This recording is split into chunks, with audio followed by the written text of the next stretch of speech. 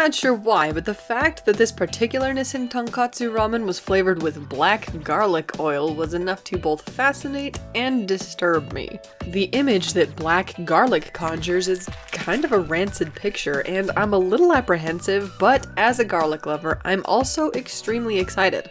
The instructions are no different from any typical ramen. Add the seasoning packets to a bowl, including the sandstone powder and the terrifyingly gelatinous black garlic. Then boil the noodles until soft and mix everything together. As soon as the boiling water hits the powder, it dissolves, and the garlic blobs turn into a much more familiar looking oil spill. Get the noodles in there, and I'll admit, it looks and smells downright appetizing at this point, with a delightfully pungent garlic smell enveloping the porky tonkotsu. Now it's time to tuck that hair back and dig in. My first bite is... Mmm. You know what? That's dang tasty. As I go in for my second bite, my mouth is coated with that sort of deliciously fatty, oily film that you'd expect from a good tonkotsu. And there's so much more depth than I expected. The secret has to be the broth. That's so good. It is. Mmm.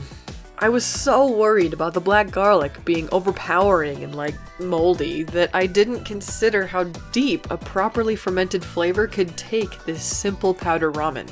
I can barely control myself long enough to take a breath, it's that good. The broth, the noodles, they're a perfect storm, and I, in less than five minutes, destroyed the entire thing.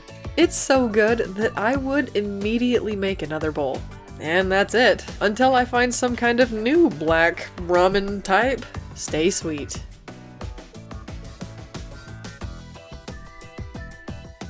Happy April Fool's Day. I hope you enjoyed Yellodart taking my place for this special episode. He certainly had fun. Pip. Hush.